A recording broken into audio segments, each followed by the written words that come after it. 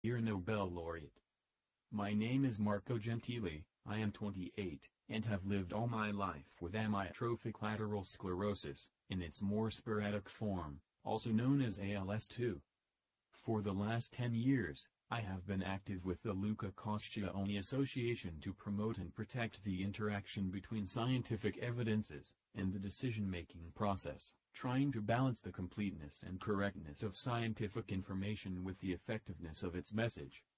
This is why, on behalf of the association, I have taken the liberty to write to you to extend an invitation to participate in the fifth meeting of the World Congress for Freedom of Scientific Research, scheduled to take place from the 11th to the 13th of April 2018, at the European Parliament in Brussels.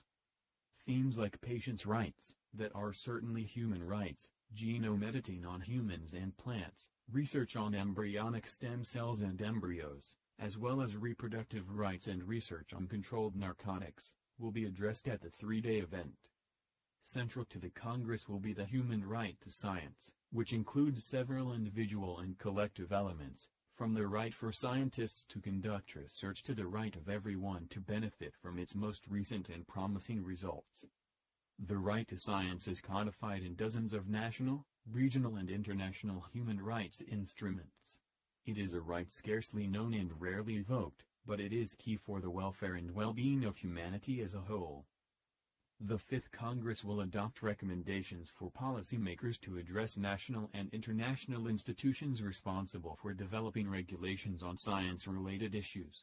At the same time, the event will promote the need to ensure national and international evidence-based decisions. Participants will include Nobel laureates, representatives from national executive and legislative bodies, relevant UN and EU entities, academics and research institutes, civil society, the media as well as non-governmental organizations including of course patients. The European Parliament, which includes 751 members representing over half a billion citizens, and is one of the most symbolic places for normative debates, and often a precursor of progressive legislation, has already hosted our event in the past. I really hope that your agenda will allow your participation in the 5th Congress for Freedom of Scientific Research, and look forward to hearing from you at your earliest convenience. Thank you very much for your time and consideration. With my best wishes. Marco Gentili.